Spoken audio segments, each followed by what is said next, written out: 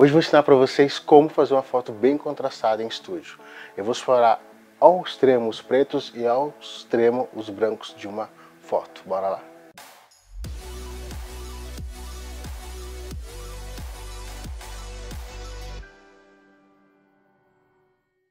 Fala galera, eu sou o Valdir Évora, essa daqui é a Luana, nosso modelo de hoje. Vai ajudar a gente a entregar um material, um conteúdo bem top hoje, tá? No vídeo de hoje eu vou falar sobre contraste. Então eu vou fazer uma foto bem contrastada, mostrar para vocês o conceito, já pensando no resultado em preto e branco.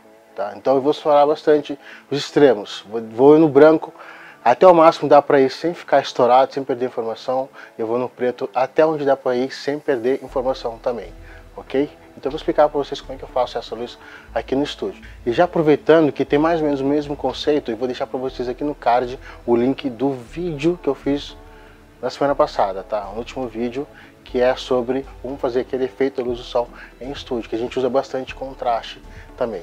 Bom pessoal, numa foto bem contrastada, a gente tem que tomar cuidado muito com os pretos, para não ficar muito preto a ponto de perder informação, e com os brancos, para não ficar muito branco a ponto de estourar demais também e perder informação, tá? Então a gente tem que controlar isso e ir colocando luz pouco a pouco tá? A gente faz uma nossa fotometria do ambiente, a primeira foto que tem que fazer, sem nenhuma luz, ela tem que ficar toda preta, depois a gente vem com as nossas luzes no ambiente para ir colocando pouco a pouco, ok?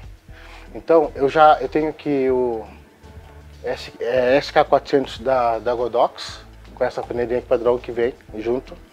Quando você comprar um flash, normalmente já vem. E eu tenho aqui esse snoot ótico da Ambitful, a L16, tá? Que meu amigo Diego me emprestou que uma Godox AD600BM, tá? Essa aqui vai ser uma luz principal, essa aqui eu vou fazer o fundo, tá? Então, como é que eu vou montar o meu setup? Vou usar o SK402 Godox aqui desse lado com a panela para fazer a luz do fundo.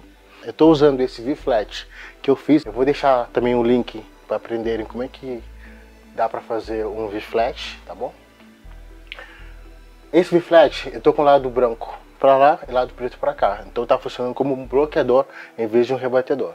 Então ele vai bloquear a luz. Então por isso que eu estou com ele aqui para ele refletir o menos de luz possível nesse lado do rosto da Luana. Então a luz vai lá no fundo, vai fazer o fundo bem estourado branco, depois vai voltar um pouquinho iluminando só a lateralzinha direita da Luana, tá? Eu vou fazer uns dois cliques para vocês verem o que que eu estou falando, tá bom? E também vou fazer um clique sem o V-Flash para vocês verem a diferença, o que que faz, tá?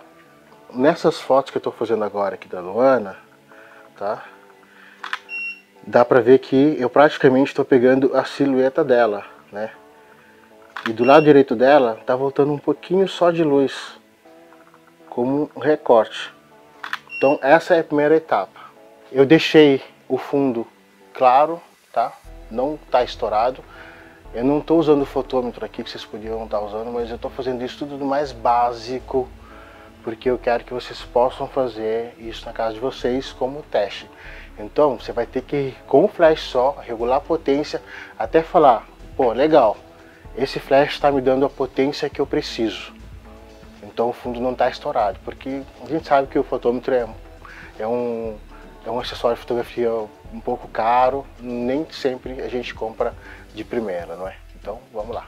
Eu vou tirar o V-Flat e fazer um clique só para vocês verem qual a diferença que dá? Por que, que eu tenho que usar esse bloqueador de luz aqui, tá bom? Eu só tirei V-Flash, deixei a, a, luz na mesma posição para fazer o fundo, tá? Vamos fazer mais alguns cliques aqui. Alguns portretes da Luana. Perfeito. Isso, muito bom. Show de bola. Vou fazer um bem fechado agora. Dá pra ver que voltou muita luz, né? A luz fala, caramba, a foto não tá feia, tá legal, tá bacana. Mas não é a minha intenção, tá? É uma luz que tá voltando demais. É uma luz que tá voltando o recorte e um pouco da luz que tá saindo aqui do flash tá invadindo também. A minha intenção é só recorte, eu quero um alto contraste na minha foto. Então vou voltar com o V-Flat, tá? Detalhe, se você não tiver V-Flat, apesar de ter vídeo aqui ensinando como fazer, pode ser uma pessoa segurando no rebatedor. Sabe, o rebatedor quando você compra ele, ele vem com vários lados. Tem o translúcido, o preto, o branco, que a gente realmente usa o lado branco, né? Tem chroma key e tudo mais. Então, o lado preto para modelo já faz o bloqueio da luz, tá bom? Pessoal, agora a gente vai usar essa minha outra fonte de luz, tá? a minha Godox AD600BM com um snoot ótico da Beautiful, ok? Qual que é a diferença desse snoot ótico para esse que, que mais vende no mercado? Esse aqui eu tenho ele há muito tempo. A diferença é que nesse daqui eu consigo modelar e focar um pouco mais a luz, tá? Eu consigo ter essas plaquinhas, tá?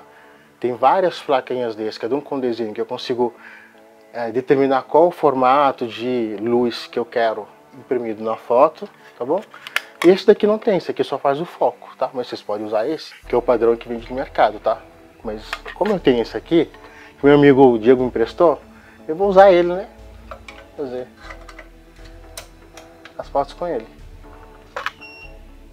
Perfeito. Muito legal.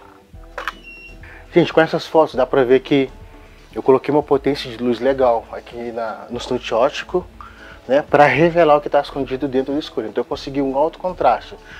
Eu tenho fundo bem branco, eu tenho um pouquinho de recorte voltando, tá? E eu tenho ela toda escura, eu tenho uma área mais clara que eu fiz com o segundo flash, né? Para mostrar, para revelar um pouco mais das informações, da informação que eu quero, tá? Eu fiz essas fotos com uma placa que uma comprida, né, na, na, vertical. Agora eu vou virar essa placa na horizontal para mostrar para vocês que dá para variar também para fazer umas coisas bem mais bacanas, né? Massa. Perfeito. A gente tem mais fotos aqui, bem bacanas, senão já dá para entender, né?